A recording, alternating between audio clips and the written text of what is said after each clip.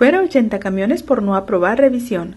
De 400 camiones urbanos y especializados que presentaron revista mecánica, 80 no aprobaron, por lo cual la Delegación Local del Transporte Público los sacó de circulación. Fernando Medina, delegado del Transporte Público en Nuevo Laredo, reconoció que es una cifra grande, pero confía en que los concesionarios pronto reparen las fallas detectadas para liberarlos, ya que ellos les afecta tenerlos detenidos. Cuando hagan las reparaciones, los concesionarios hablarán a la delegación para que acuda nuevamente a verificar la unidad, y si todo está en buen estado se les permitirá circular nuevamente.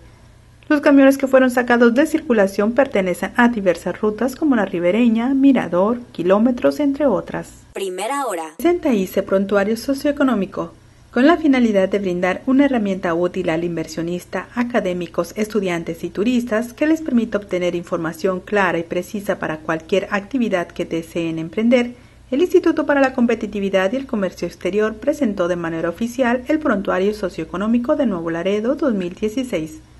En conferencia de prensa, Jorge Viñal, director del Instituto para la Competitividad y el Comercio Exterior, presentó este documento con el cual se da a conocer los beneficios y bondades así como las ventajas competitivas que tiene la ciudad.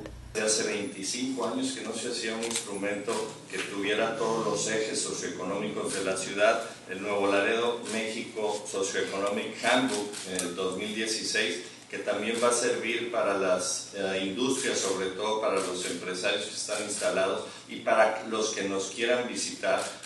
Eh, también dentro del contenido que tiene este prontuario, eh, quiero decir que para la elaboración de este prontuario eh, se hizo coordinadamente con distintos organismos públicos y privados, eh, con los organismos de, desarrollo de aquí de la ciudad, con los organismos productivos, como es la Asociación de Agentes Aduanales, como es INDEX, como es Canacintra, como es Canaco, como es CODEIN también participaron todas las universidades, eh, la UAT, el Tecnológico, el Tecmilenio, que fueron clave para poder hacer este instrumento.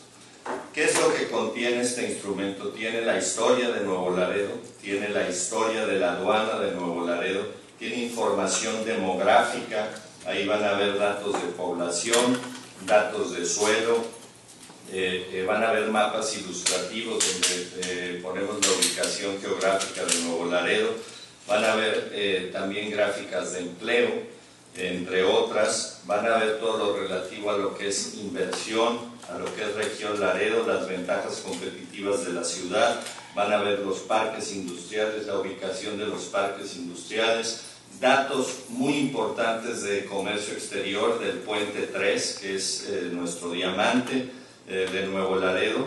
Eh, van a ver datos de ganadería y del turismo cinegético.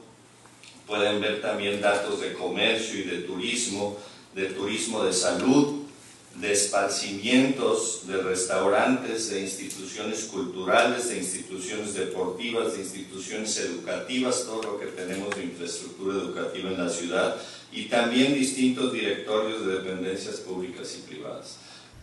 Viñals agregó que este documento está disponible en inglés y en español de manera digital en la página del ICE www.icedenuevolaredo.org, además en la página del Gobierno Municipal y los portales de la Asociación de Agentes Aduanales y la Asociación de Maquiladoras y Central de Carga. Esto ha sido todo por hoy. Lo invito a visitar nuestra página que es www.primerahora.com.mx donde encontrará más información. Hasta pronto.